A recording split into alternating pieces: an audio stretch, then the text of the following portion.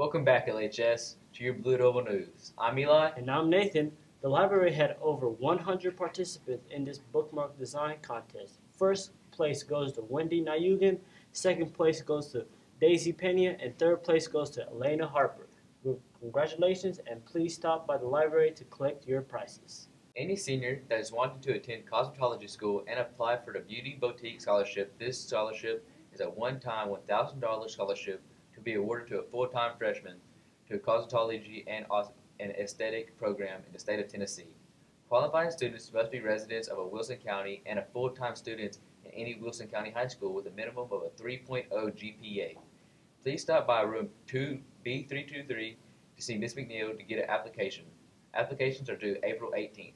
Students, AP exam deposits are due on March 22nd, which is this Friday. You must pay your deposit in order to take the exam. Payments can be made with card, online, or with cash or check in the guidance. The order for AP exams are due Tuesday, March 26th.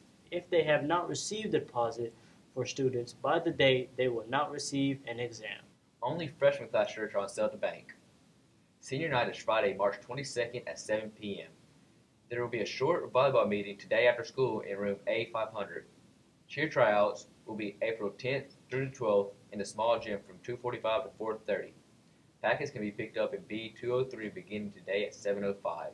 The LHS ROTC is hosting Pancake Breakfast fundraiser at Emmanuel Baptist Church this Saturday, March 23rd, 8 a.m. to 11 a.m.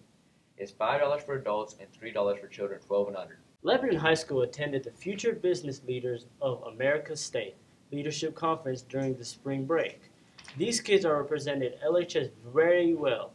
We would like to thank everyone who helped support these kids to their preparation. Those who place will advance into nationals in San Antonio, Texas this summer. Congratulations, everyone. There are seven more days to get your prom tickets.